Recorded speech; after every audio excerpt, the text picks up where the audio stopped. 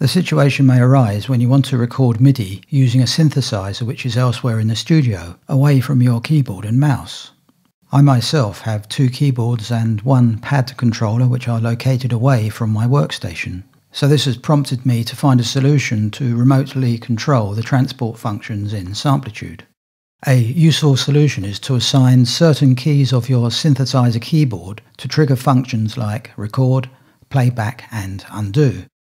This can indeed be done in Samplitude Pro X by mapping these particular functions using the hardware controller window, therefore using the MIDI keyboard as a remote transport. So in this tutorial I'm going to show you how to map the top three keys of my 61 key WSA1 synth so that they can indeed function as a remote transport. The top track is a MIDI track sending MIDI to the WSA1 Track 2 is the audio return of the synth and I have monitoring enabled. I actually have two keyboards located against the right wall of my studio about 5 foot away from me. The camera is showing the keys of my WSA1. So the plan is to record MIDI using that keyboard and control the samplitude transport functions with the top three keys.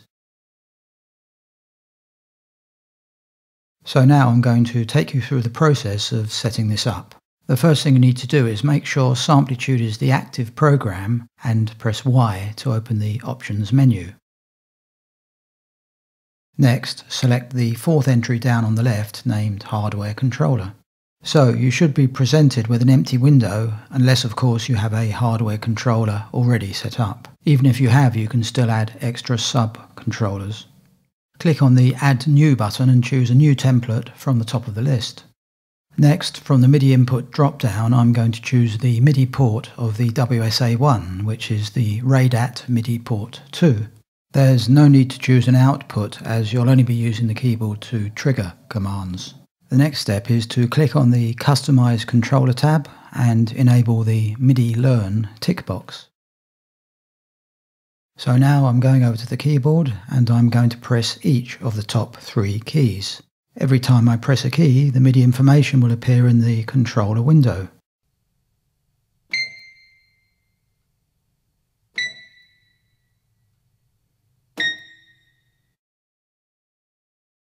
So that's the three keys learnt. It's important to remember to turn off MIDI Learn afterwards. I'm selecting the first entry and you can see that button has been entered in the type column. If you right click, there's a list of the different control elements, but button is fine for what we need. Now I'm right clicking in the function column and the select function window has opened. At the top it says click here for list of functions. So I'm left clicking in this area and I'm going to transport record. Click OK and you'll see the record command has been added to the top entry. I'm now choosing the second entry and right-clicking and selecting Transport, Play, Stop.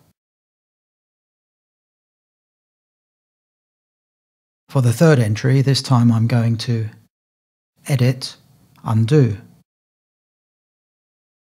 These are the three transport commands I decided will be most useful for me, although you may decide you want to use a different combination. Plus, of course, you could always use more than three keys although you'll need to avoid using the assigned keys when you're playing a part. So I'm clicking Apply and returning to the Basic Settings tab and I'm choosing Save As.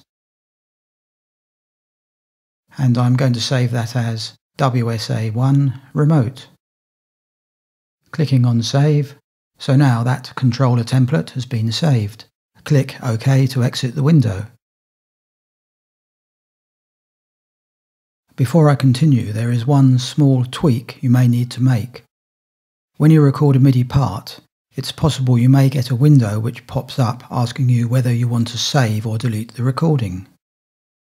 It's probably a good idea to disable this message as it may interrupt the workflow when using the remote keyboard functions. If you haven't already disabled this message, just tick the Don't show this message again checkbox and it will no longer appear after every recording. So if I do another recording, when I hit stop, there is no message. If you decide you don't like the take, you can just press the key which is assigned to undo on the synthesizer.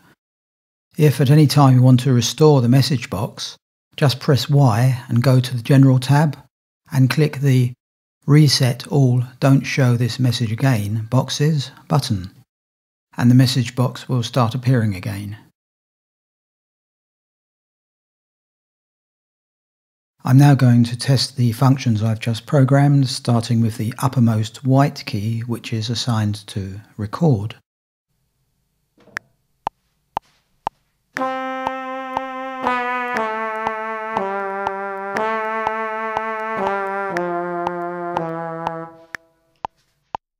Now I'm going to press the second uppermost white key, which is assigned to play stop. That seems to be working okay. Press the same key again for playback.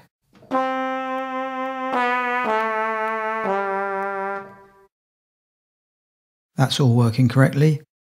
Now, if I decide I don't like that take, I can press the uppermost black key, which is assigned to undo. Great, that's working as well. I want to re-record the part, so I'm pressing the uppermost white key again.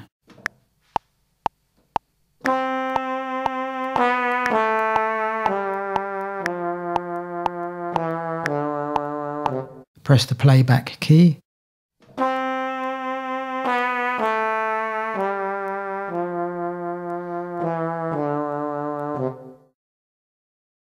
So everything seems to be working correctly. I can now record my keyboard away from the computer by using the remote keys I've just programmed.